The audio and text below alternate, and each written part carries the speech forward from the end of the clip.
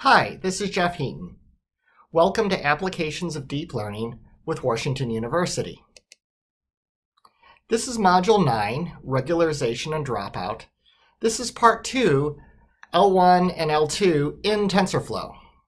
So in the previous part, we looked at how to what L1 and L2 was and where their roots were. Now we're going to see how to use it in TensorFlow. So TensorFlow and L1, L2, these are techniques that can help to reduce overfitting.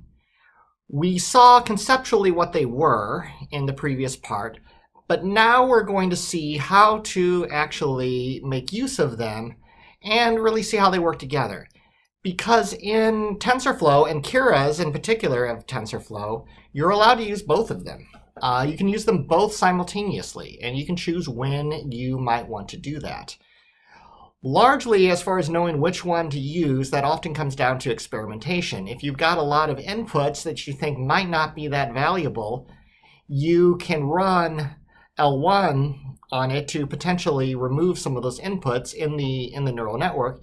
You can also do importance ranking, which we see in a subsequent module and that shows you how to how to determine which inputs are the most important and you might want to remove some of those because they, that can definitely have a positive impact on your on your training. So if you if you bump up l1 you're having the neural network essentially do that removal for you.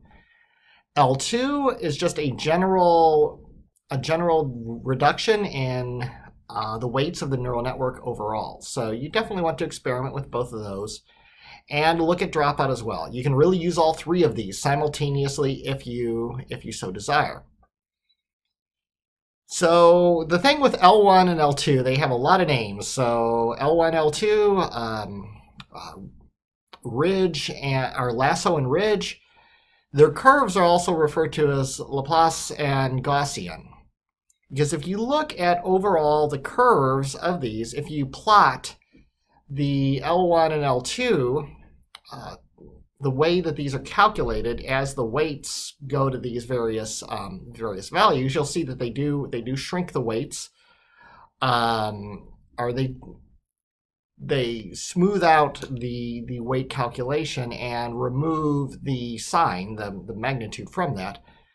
So what we are seeing here, the most important part is right here around zero. And this shows you why L1 tends to essentially, it's very abrupt at zero. It, it, it tends to push the these coefficients to zero, whereas it's less abrupt with L2. Just the effect of the way of getting rid of the the way the effect of getting rid of the um, the the sign and the effect that it has overall.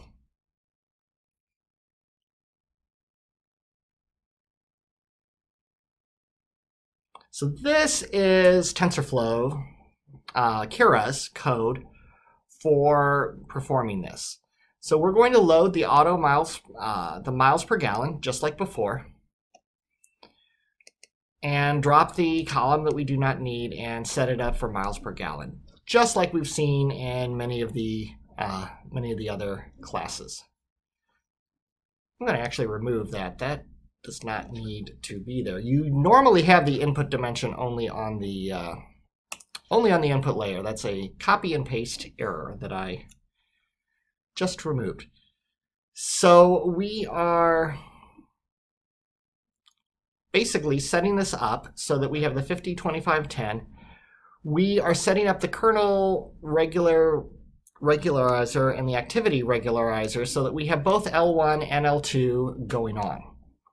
And you can... Okay, and now we'll continue looking at how we added L1 and L2 actually directly to TensorFlow. Now TensorFlow supports L1 and L2 to be directly added to the neural network. This link that I provided here shows you the actual documentation for doing this. But I will leave that to you to um, read if you want additional information on it. But for now, this works for reading in the auto miles per gallon we are doing just like we did before. We will drop the name, we will encode the missing medians for the horsepower, and split out based on miles per gallon the x, which is the predictors for miles per gallon. And we will also split this into a training and test set. Now, if you look at the actual neural network definition, this is what's changing. And this is pretty, pretty similar. The model is sequential. And you are basically adding these dense layers to it. That's the input layer, 25, activation, and on upward. Here is where we're adding in L1 and L2 regularization. Kernel regula regularizer is essentially adding a regularizer onto the weights of that particular layer, whereas activity regularizer is adding the regularizer onto the actual output of that layer.